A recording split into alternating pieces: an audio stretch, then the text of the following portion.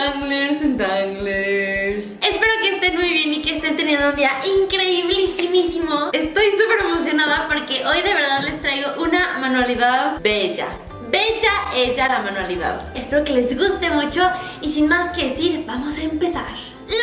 Necesitamos es una calavera, una calaquita, un cráneo de unicel. Esta calaquita yo la encontré en una papelería. Pensé que iba a ser un poquito más difícil de encontrarla, pero fue súper fácil. Y yo creo que ahorita, en especial octubre, van a haber muchísimas en las papelerías o en tiendas de arte y de manualidades.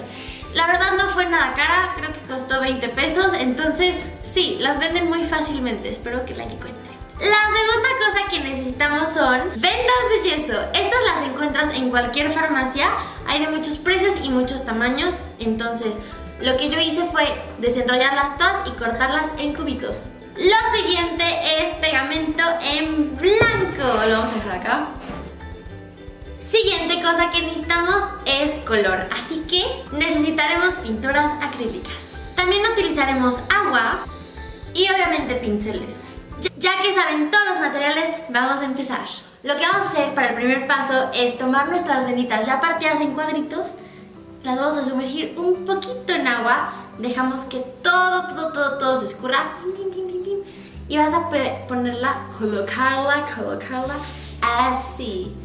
Y con tu dedito como que vas a acariciar el cráneo. se va a estirar y se va a aplanar y la textura de la venda como que va a desaparecer un poco entonces y va a pegar, entonces eso es lo que queremos. Vamos a hacer eso en todo nuestro cráneo.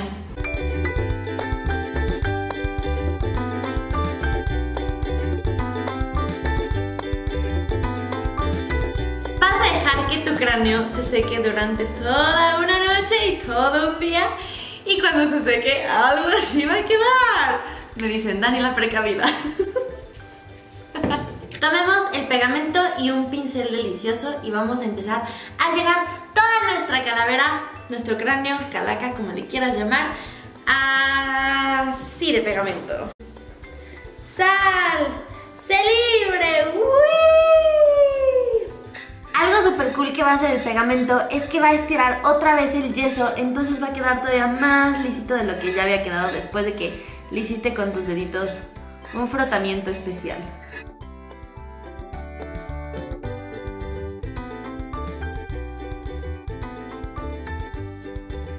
Llegamos a la parte más cool de todas, que es pintarlo. Ya se secó el pegamento blanco y ahora pues tengo que pintar. Eh, este es el momento en el que tu creatividad tiene que ser inmensa. Obviamente hay millones y millones y millones de ideas para pintar esto, entonces espero que les gusten las que yo voy a hacer. La verdad todavía no sé ni qué voy a hacer, pero bueno. Voy a hacer cuatro modelos diferentes y todos los comentarios me van a decir cuál es tu favorito, ¿va? En esta idea quise hacer muchos colores, quise usar diferentes secciones de la calavera para ocupar los colores y hacer algunas figuras geométricas. La verdad no fue algo que pensara muy a fondo, no usé lápiz para trazar las secciones en la calavera, simplemente me guié por mis instintos. Y la verdad es muy padre porque la pintura acrílica una vez que se seca puedes ocupar un color un poco más fuerte para encimarlo.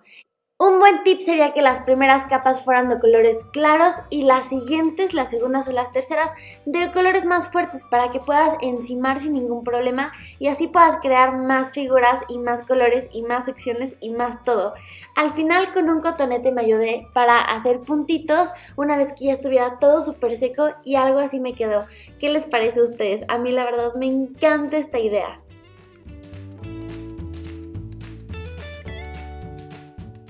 Para esta idea vamos a hacer algo extra. Necesitamos unas tachuelitas o unos alfileres y vamos a necesitar este yeso que usamos en el principio, pero más larguitos porque vamos a hacer unas flores. No sé si hayas hecho ya antes flores de papel, pero es súper fácil.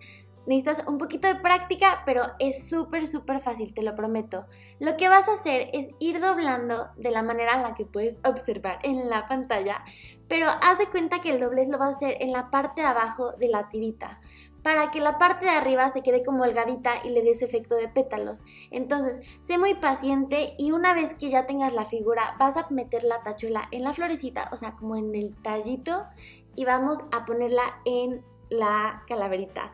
Algo súper cool es que pues ya simplemente lo pones y esperas a que se seque y ya se va a quedar pegado.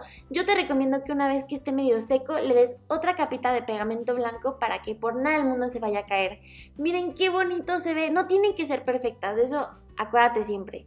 Ahora, ya que le puse mi capita de pegamento blanco y se secó, vamos a darle una capa, una capa, una capa, perdón, una capa de pintura blanca. Y ahora sí puedes decorarla a tu gusto. Yo no sé por qué quise hacer las primeras rojas, pero después me arrepentí y dije, ay, las hubiera hecho de colores. Entonces, esa es mi confesión. Lo que hice después, ahorita les voy a enseñar. Disfruten ver cómo se pintan las flores rojas. ¡Ay, negra! Su patita. Eso.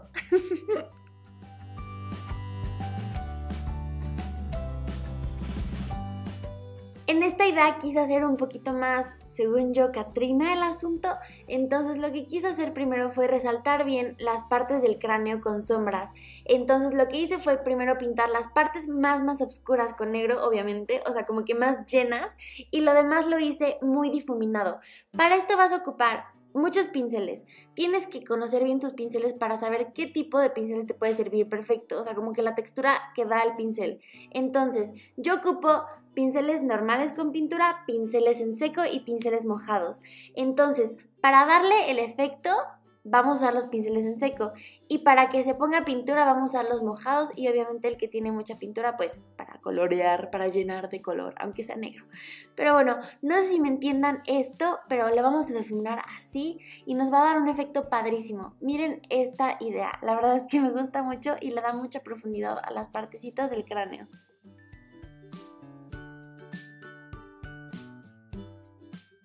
Aún no sé si esta es una de mis favoritas, pero la verdad me vuelve loca y ay, espero que a ustedes también les guste.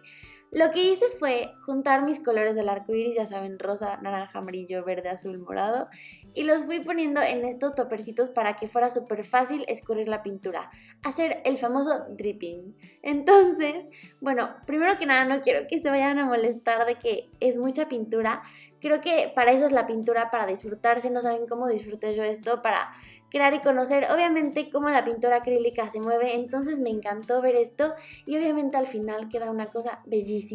Miren nada más, o sea, es que está increíblísima. Me encanta.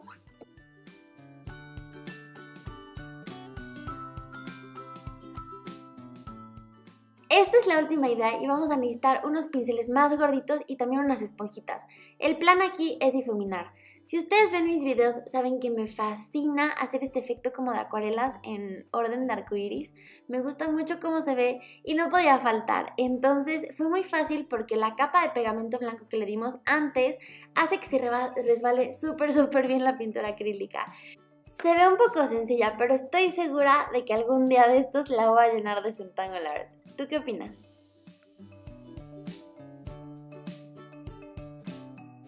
Déjenme, me pongo guapa para la otro. Espero de verdad, de verdad, de verdad que les haya encantado la idea. Espero que si la hagan, de verdad, hay millones de formas de cómo hacerla, cómo decorarla, cómo pintarla, cómo hacerla.